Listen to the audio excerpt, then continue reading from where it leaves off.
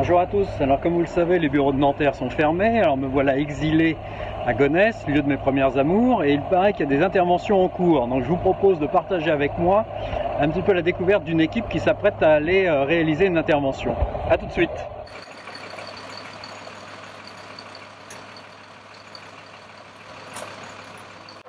Bonjour Kafumba, bah, ça me fait plaisir de te revoir. Oui, bonjour. Alors qu'est-ce que tu fais là?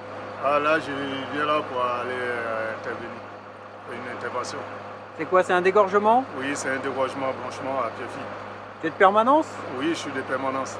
Là, j'étais à la maison et ils m'ont appelé et me dit pourquoi il fallait aller intervenir à Sévran, chez un riverain. Et du coup, voilà, moi aussi, ça m'a fait du bien aussi d'avoir sorti parce que vraiment, j'étais couché à la maison. Je m'ennuyais quand même. Bon, ça me fait du bien quand même. Est-ce que tu as de l'appréhension? Est-ce que tu as un peu de peur euh, Est-ce que tu portes je n'ai pas peur, euh, juste euh, je prends toutes les précautions. Euh, quand j'arrive, je lave la main. Et après, euh, je mets mon casque, je, prends tous mes OPI.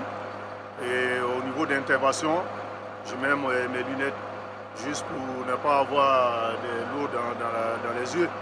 Et voilà, après. Après, je lave les mains avec du savon, on a du désinfectant aussi. Après lavage de main, on met un peu de désinfectant et on monte.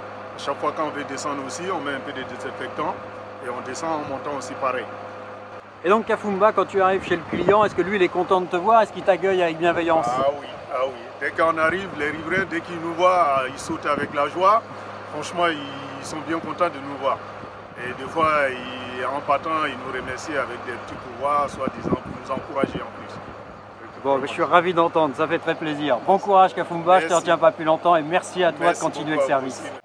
Bien écoutez, ravi d'avoir partagé avec vous ces quelques brèves de comptoir d'exploitation en direct de Gonesse. Car même si le confinement dure, l'activité, elle ne s'arrête pas.